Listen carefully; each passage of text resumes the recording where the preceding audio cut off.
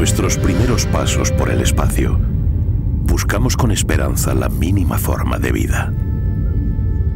Y sin embargo olvidamos que entre los planetas que comparten la energía del Sol, hay uno marcado por el don de la vida, del que aún está inexplorada más de la mitad de su superficie.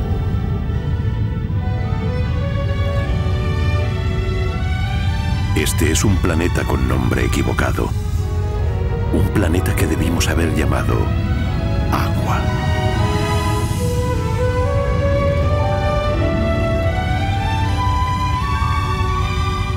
Más de la mitad de la Tierra está cubierta por los océanos. Y ahí abajo, oculto por el aplastante y oscuro peso de toneladas de agua, se esconde un mundo desconocido y hasta ahora vedado al hombre. Un mundo del que los científicos saben menos que de nuestro sistema solar. El mundo de la última frontera. El abismo marino.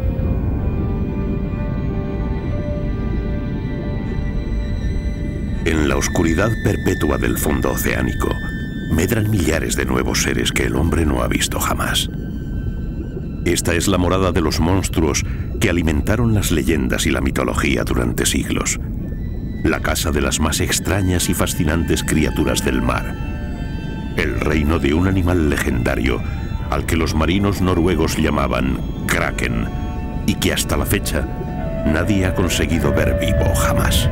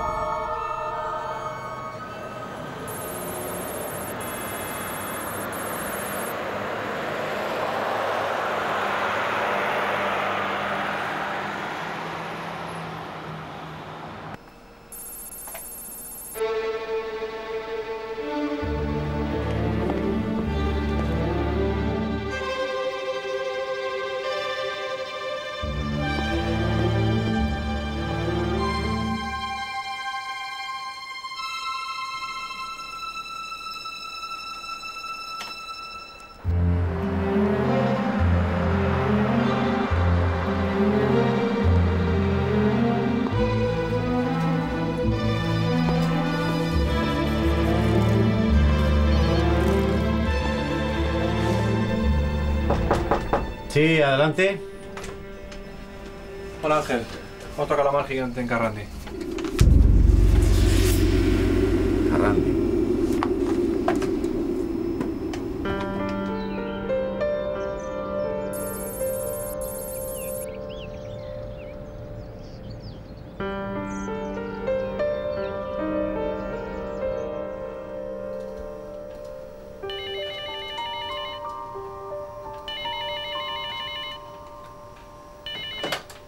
¿Sí? ¿Dónde?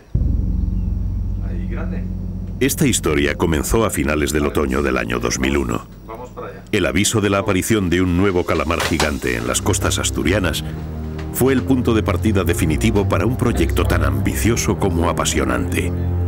Intentar ser los primeros en conseguir imágenes de un calamar gigante vivo en su medio natural.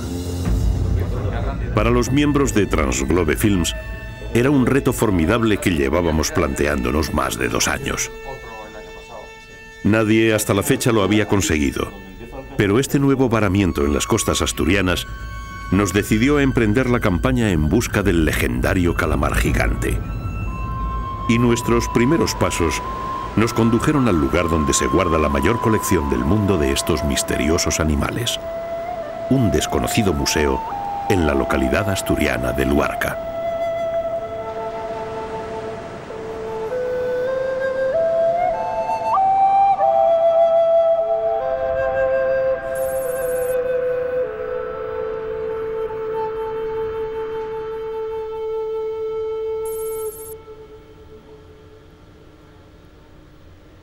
En la Coordinadora para el Estudio y Protección de las Especies Marinas, un naturalista enamorado del mar lleva años tras las huellas del legendario monstruo marino. Desde tiempos inmemoriales, las costas de Asturias han sido el escenario de la aparición de calamares gigantes. Para la gente local, no pasaban de ser una de tantas criaturas que el mar arroja a sus playas, y como no había forma de sacarles provecho, nadie se preocupó por ellos. Pero Luis Laria comprendió la importancia de lo que allí estaba sucediendo. Desde hace mucho tiempo los marineros de Luarca me hablaban de estos monstruos marinos, que para mí eran una leyenda. Dejó de serlo precisamente cuando se capturó este ejemplar, que mide 13 metros y que fue capturado en el caladero de Carrandi, que es considerado hoy mismo uno de los mejores o más importantes del mundo en presencia de calamares gigantes. En un principio, Luis Laria creyó que se trataba de algún varamiento fortuito, pero con el tiempo empezó a comprender que allí, a escasa distancia de las costas de Luarca, había una población estable de calamares gigantes, un patrimonio único que había que dar a conocer al mundo. Decido conservarlos precisamente para poder mostrar a la sociedad ejemplares que son reales hoy en día y que, apareciendo tantos como aparecen en Asturias, desde hace ya bastantes años, no entendía que pudieran pasar desapercibidos para instituciones, etcétera, y que después las generaciones venideras no pudieran observarlos de cerca como se pueden observar aquí en el aula del mar de Luarca.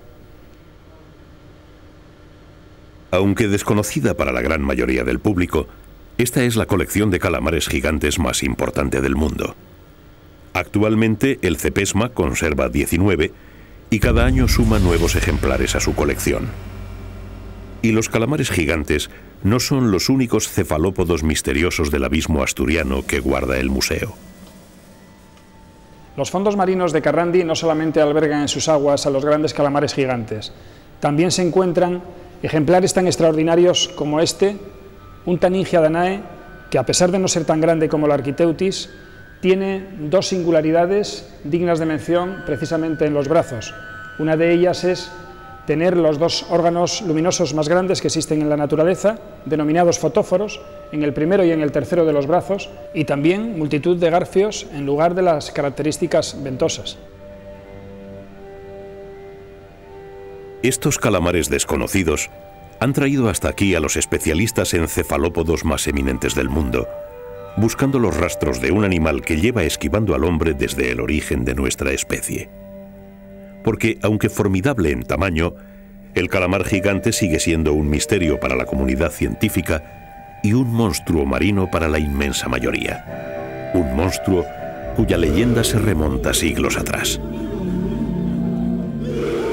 Desde el origen de la historia, el hombre ha encontrado en el mar un hogar para sus demonios y supersticiones.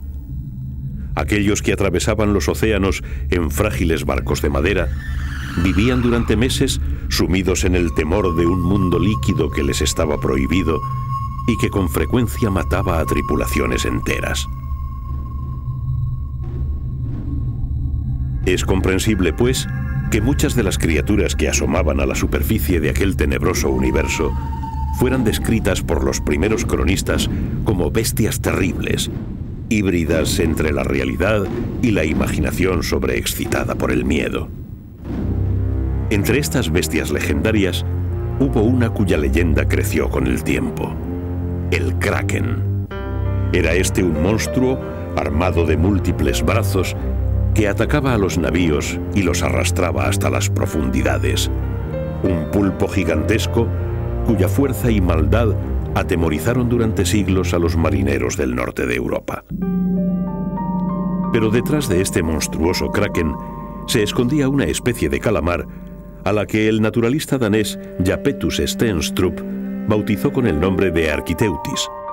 Un calamar real, sí, pero un animal que con sus más de 20 metros de longitud y sus mil kilos de peso, nada tenía que envidiar al legendario kraken. Y sin embargo, un animal del que aún hoy apenas sabemos nada.